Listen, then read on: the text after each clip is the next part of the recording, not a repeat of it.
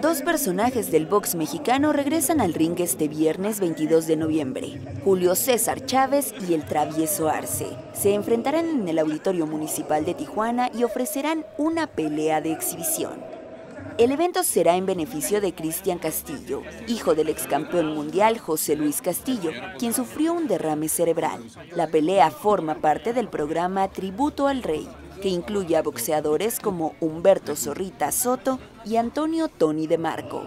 Ambos ex campeones mundiales del boxeo llevan varios años sin pelear, pero aseguraron que el apoyar a su compañero fue lo que les impulsó a subirse al cuadrilátero.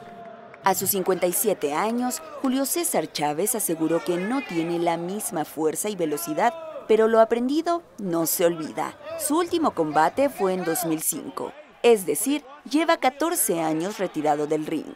Es por eso que detalló que para esta pelea subirá con una protección especial para protegerse de golpes en la nariz. Julio César Chávez es considerado como el mejor boxeador de México. Durante 25 años de trayectoria deportiva ganó tres títulos mundiales en diferentes divisiones, en peso superpluma, ligero y superligero.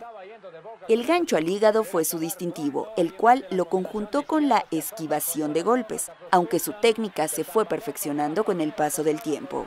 Sus inicios se remontan a los 16 años cuando decidió ser parte del mundo del box y cuando aún no sabía que un 2011 formaría parte del Salón de la Fama Internacional del Boxeo.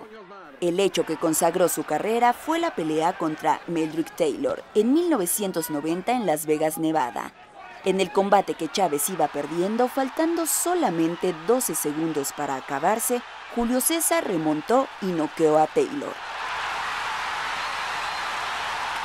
Durante esa época se habló de Julio César Chávez en el mundo y la leyenda que enmarca su carrera se acrecentó al decir que de 100 combates solo perdió dos, frente a Frankie Randall y Oscar de la Hoya.